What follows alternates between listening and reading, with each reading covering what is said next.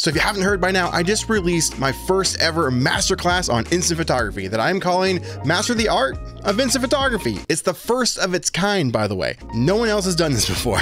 So with that said, I wanted to give a free lesson for you today.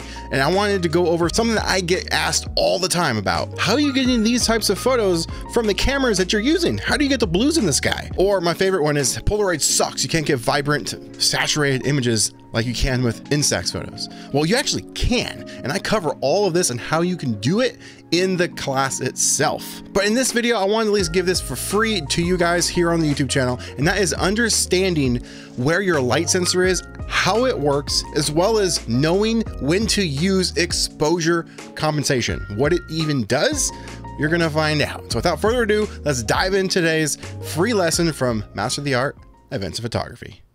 I'm just another Chris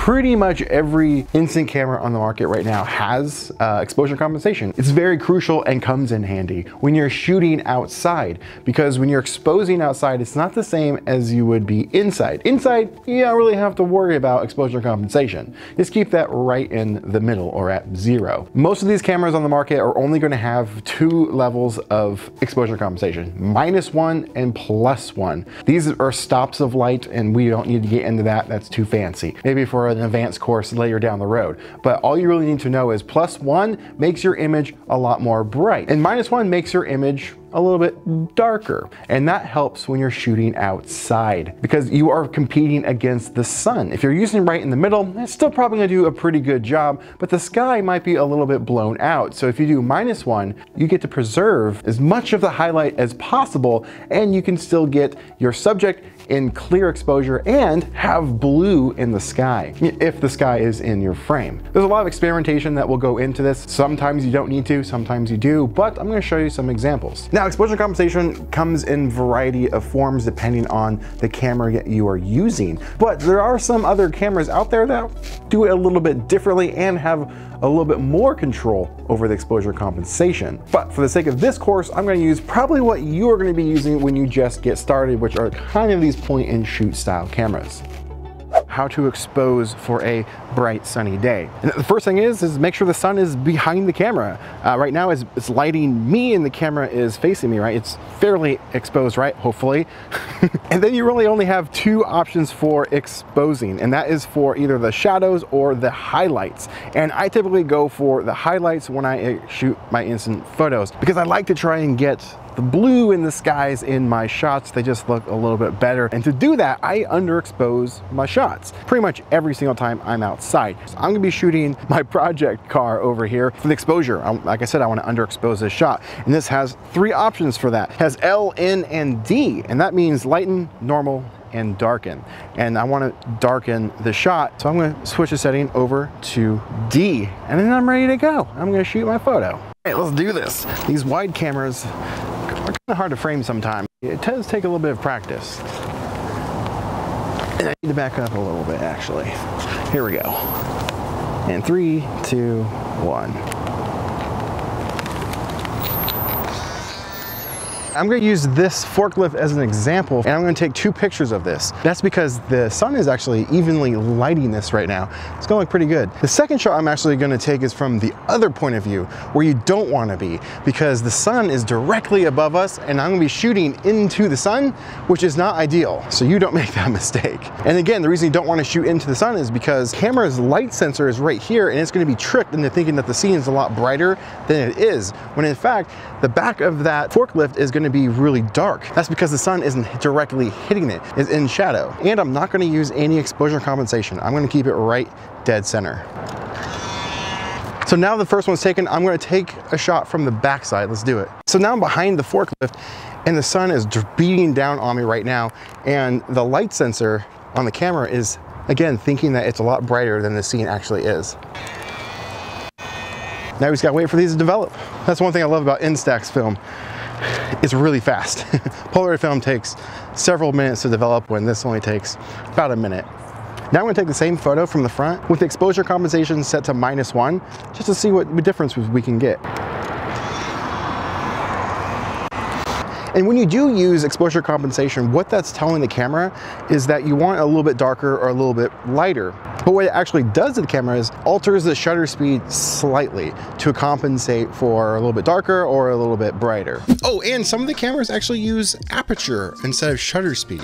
It just depends on the camera you're using. I did a generalization for you there. And here's the actual little bonus tip that I want to give you today. When I was shooting the forklift from the backside into the sun and the image came out dark, you can actually get the forklift to expose properly because that's when you would use the opposite end of the exposure compensation. You would do plus one or lighten on this particular camera I was using and it would completely blow out the sky. You would get no blues, but you would be able to expose for the forklift. I didn't do that in the course, but uh, just want to give you that little extra pro tip. If you guys want to get this class, it's available right now. And the reason I want to get this video out today is because there's still time the day of the recording and the date of the upload of this video, that is, to join the live workshop that comes with the master class. It's included. it's going to be September 8th, and there's two time slots for it. There's going to be one in the morning, 11 a.m. Pacific Standard Time. If you missed that or not, not available, don't worry, I got you covered. There's going to be a second one in the evening, 6 p.m. Pacific Standard Time. And if you don't want to get the class and still want to join the live workshop, you still can as a patron member over in the Spitfire Club. You can get in there for free at any level. And in the workshop, we're going to be going over everything that was taught in the course itself, questions that you have, concerns, things that you're struggling with. This is your opportunity to join in to get those questions answered. And I might be sneaking in a few extra little surprises during the workshop, so you don't want to miss it. Link is in the description. Go sign up for this class. The whole main goal of this course is to help people stop wasting money on instant film by taking better photos. I have to talk to and, and, and deal with so many comments on YouTube or people that I talk to either in person or on Instagram. So many people, which is great. Don't get me wrong, but a lot of times their minds are so closed off. They say, I've used that camera. It's horrible. I get the worst results from that camera. That one sucks. Polaroid is just terrible. Instax is just the worst. And they never look within themselves and think, maybe, just maybe, it's you. I may not be an expert in this field and maybe I need more practice because this isn't digital photography. You can't just point the camera at something. You actually have to use your brain a little bit and understanding where light sources are and the temperature outside, things like that. You don't have to really think about that when it comes to digital. So that's where this class, I hope to fill that void because it's missing in our community. There isn't a proper educational source outside of YouTube that isn't condensed into one area. YouTube, we got YouTube and it's all over the place. A lot of tips and tricks and camera reviews, all that good stuff, but you have to hunt for it. There's nothing in one spot. So that was my goal.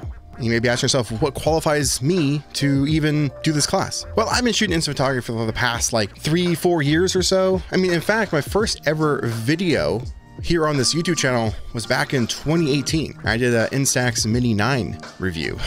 that was the first real entry into shooting instant photography was back then. But I, I would say I've really been gone headstrong, full time, really dove into the hobby and craft probably in 2020. And plus, I release four to eight videos sometimes every single month here on this channel. And I've learned quite a bit of things things to do, things definitely not to do. And when I was first getting started, I really wanted some type of formal education to help me through this, but there wasn't. So I had to learn it myself. And I think it's now the time to finally get this thing created and help the community the best I possibly can. That's all I got for you in today's video. Thank you so much for watching. Hope to see you in the course. Now, get out there, make some art.